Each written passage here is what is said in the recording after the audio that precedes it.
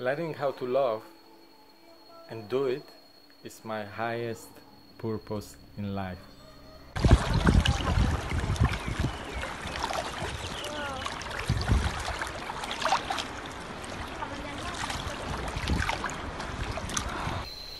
Hello, lovely people. So, uh, I would love to share my great gratitude to my beloved goddess uh, Trisha Croft for uh, making me so happy with uh, uh, our sexuality, for sharing uh, so much love together, that it expands uh, so widely to other areas of our life. It's uh, amazing to create this bubble and take care for this bubble of connection what we have on the sexual level and feel how it expands into other areas, how uh, it uh, uh, the connection uh, on areas that we think more about working together, about living together, and creating the life together, sharing, biting our egos to uh, love each other so much that uh, we don't have to uh, always cling into our own ways. Uh, we can let it go because we love so much uh, the goddess, uh, the God in us uh, that that uh, we just yes share it we uh, we uh, it's not even sacrificing it's uh, with love uh, just letting go and uh, choosing another ways uh, for the other person because we love so much and this love help us to actually bite our egos and so and it's so beautiful that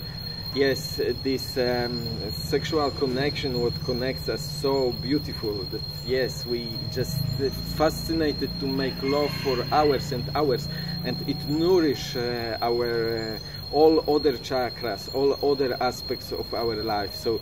uh, yes, we uh, are uh, on very strong connection with our love. we love each other more and more, and we feel that uh, and uh, yes we uh, choose to keep that bubble to take care for that bubble to nourish that bubble and to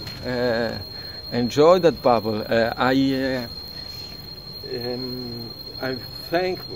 my goddess Trish Croft that uh, for these tears of happiness uh, during the love making that uh, it makes the life uh, experience one of the most beautiful that that uh, yes I can um, feel like in heaven. I, I, I feel like uh, yes uh, one of the best experiences and if you're touched by this it's uh, it's just amazing to uh, it empowers your life so Thank you, my goddess, for nourishing my life, for making it so powerful. I feel, uh, uh, yes, uh, together with that energy, uh, we are moving the mountains already. So uh, keep your eyes open, see what things are happening uh, on the way from that creation, how we transform this beautiful sexual energy into love to ourselves to our relationship, but how is it spread all over through uh, our teachings to you, through our energies to you. And yes, it's great to hear that, uh, thankful our relationship, uh, people see it, people uh,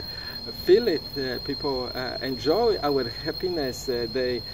see the, us and they say like, hey, you look uh, 10 years younger. And yes it's just one month of uh, lovemaking uh, sometimes uh, not going out from bed but uh, yes enjoying it so much. And yes bringing this energy not losing yes we no, are not into losing energy we just transform it into into love spirituality into connection